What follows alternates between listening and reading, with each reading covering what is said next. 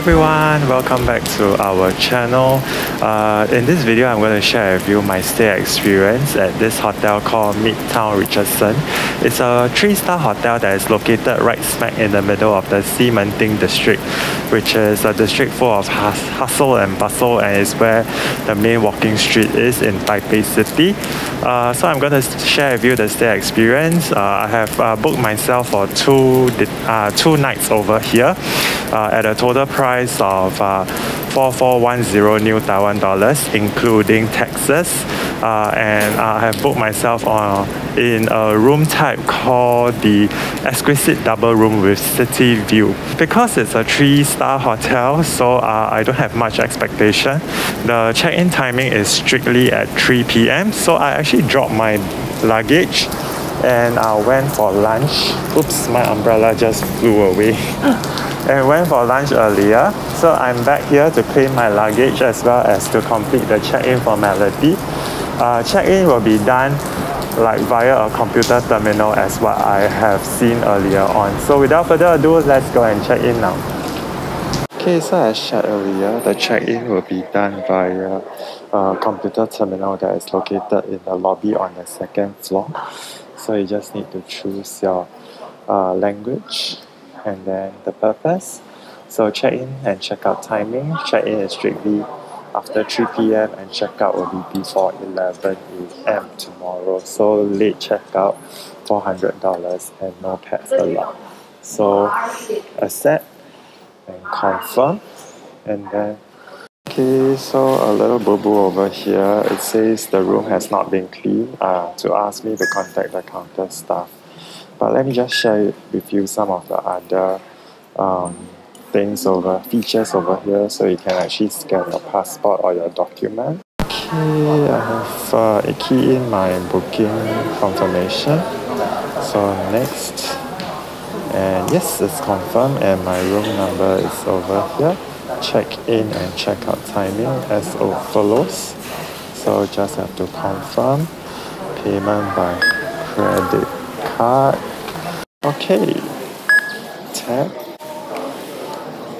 and then we should go through. Sure.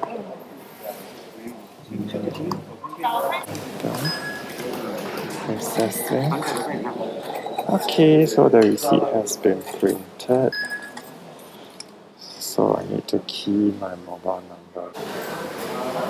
Okay so you retrieve uh, room card by the side and then you put it on top over here for it to detect and then you press confirm. Okay then you can put the second piece confirm okay. This is the corridor and this is my room for two nights. One two 1581 so let's go in to take a look um, it's a rather small space uh, because of I think it's a location because it's right smack in the center of uh, a very famous district Ximending so immediately when you come in it's where the mini bar section is uh, there are instant coffee sachets as well as uh, tea Chinese fine tea for your drinking pleasure.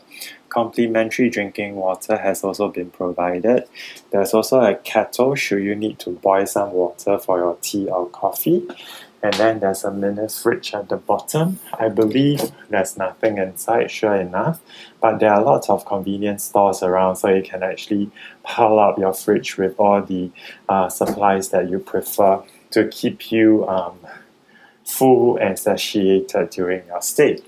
Okay, the sink is interestingly outside, placed outside, and by the sink there's a universal power outlet for you to charge perhaps hair dryer or to power up your hair dryer or your shaver. Okay, and then also can also double up as a charging point for your mobile devices. And the um, shower amenities and the bathroom amenities have been left outside like that. Uh, so rinsing cup as well as um, two bottles of um, oh conditioner as well as uh, body lotion and then the necessary amenities like toothbrush, toothpaste, shaver and even a soap. Yep, so this is like a working desk area.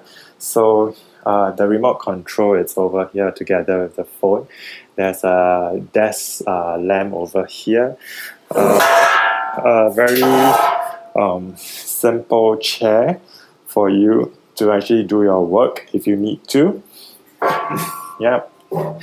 And behind the working desk is where the wardrobe space is. Maybe let me go from this angle so you can see clearer. So it looks like that. And then uh, at the bottom shelf, uh, interestingly, they power the religious uh, books over here. Together with the hotel directory and uh, with the fold inside the folder there's also like pen uh, and then uh, letter pad as well as envelope if you need to write anything. So the tissue box is over here. There's an in-room safe uh, pretty decent size so good enough. And at the bottom is where you have two pairs of um, very flimsy looking uh, bedroom slippers. Okay and then the hair dryer is over here. Uh, um, considering the size I'm skeptical about how powerful it is but I'll let you know the verdict tomorrow or later. Yes so uh, with that let's go into the bathroom. Uh, so as you can see, the porcelain throne is on this side. Okay, so let's move in. Uh, okay, so once again, I'm not using the GoPro, so please bear with me. I'm just using my Google Pixel 4 XL. So this is the porcelain throne uh, with the waste bin by the side. And if I swing the focus to the other side, this is where the standing shower is. So there is a shower head as well as a rain shower and then um, the soap dispenser I believe dispenses both uh, shower gel as well as shampoo since the conditioner is actually outside. Yep, later I'll bring it in if I need to shower. So we are almost done with the room. Uh, this is the bed area. So I think it's a king size bed if I'm not wrong. Yeah, and then there's like a view, some view. Yeah, and the building facade of another structure. Yes, and then the bedside table. The lamp looks like it's occupying like 100% of the space over there could have been replaced with something slimmer, but oh wells. At least there's like a shelf at the bottom for you to put your personal belongings if you need. So there's only one bedside table and then there's a universal power outlet over here to charge out your mobile devices if you need. So three light switches, no indication of which light opens up which. So I think you need to guess on your own. Yep. Yes. So the air conditioning, uh, its control is right here. Can control the temperature. In front of the bed is where a TV is, which we hardly ever use. Yeah. Track count of the bed, um, slightly on the rougher side if you compare it to the previous hotel that I stay in. And also, um, the pillow is also pretty soft. So I think I'll need two pillows to double up as one for the sufficient or appropriate support for my neck. Okay, so with that, I think I've completed the room tour. Nothing much, pretty basic room. Even the ceiling is uh, very, very low. I can actually touch the ceiling like that.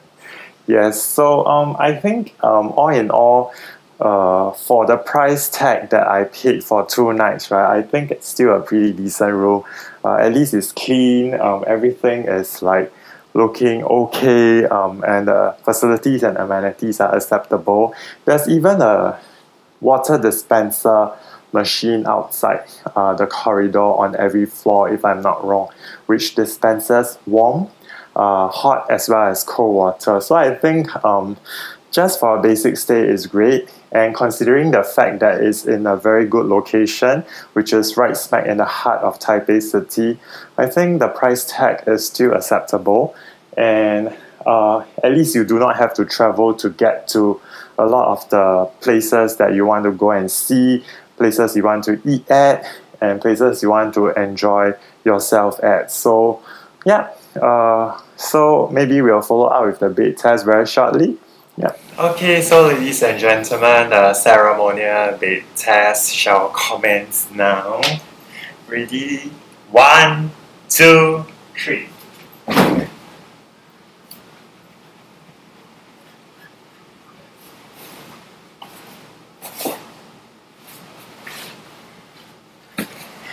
Okay, verdict. Um, the bed actually shakes if you have a lot of vi violent maneuver, so be careful.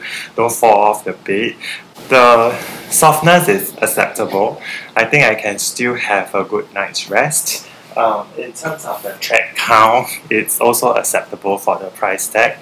Um, and the pillow is a bit like the memory pillow, but it's slightly thinner. So I think, uh, as suggested earlier, I will put two pillows together to provide sufficient support, height support for my neck. Yes. And so um, with the bed test, I think that completes um, the entire uh, stay experience. Uh, I will conclude tomorrow morning uh, before I, no, sorry, Tuesday morning before I check out uh, because I'll be staying here for two nights. Yeah. And then, um, yeah, so I'll share with you more uh, in the checkout uh, segment. Hello, so if you have watched this far, um, this particular segment would be the part where I'll be checking out after two days stay at Midtown Richardson. So all in all, I would say that it is a very basic accommodation because I paid for the hotel rate without um, the uh, breakfast package and then there is no facilities uh, per se within the hotel property. Uh, good thing about this place is is very nicely located within um, the heart of uh, Taipei City, which is the touristy district of Ximending. So it's near to Red House.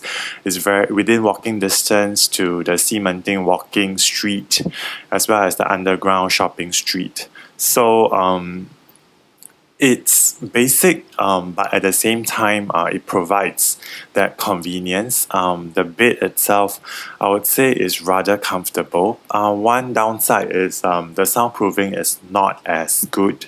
Uh, as the previous property that I stay in. Um, so you can hear actually the water dripping or draining, uh, the drainage pipe uh, sounds when you are sleeping at night. So earlier on, y'all saw the small hair dryer. Apparently, it's quite powerful because um, you know it actually dries up my hair pretty fast as well.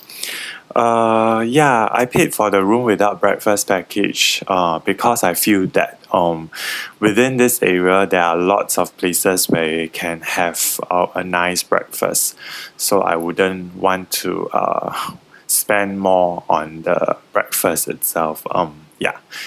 So, all in all, I think um, if you want to come over here, you can actually consider this particular property if, let's say, you value the convenience and most of the time you'll be out roaming the streets of Taipei.